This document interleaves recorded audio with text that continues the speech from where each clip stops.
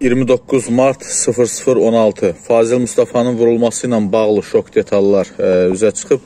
Ə, Fazil Mustafa qarajın qapısını açıb həyətə girmək istəyəndə cinayətkar evin sağ tərəfində yerləşən daş hasarın arxasında gizlənərək gözləyib. Bu sözləri Musavat.com açıqlamasında deputat Fazil Mustafanın yaxın dostlarından biri deyib. O bildirib ki, hadisəni ə, törədən şəxs hasarın arxasından deputatın avtomobilinə atəş açmağa başlayıb, maşına ciddi zərər dəyib. Cinayətkarın avtomobilə atəş açmasında məqsəd Fazil Mustafanı öldürmək olub. Deputat cəld tərpənərək yenidən maşına minib və tez qapını örtüb.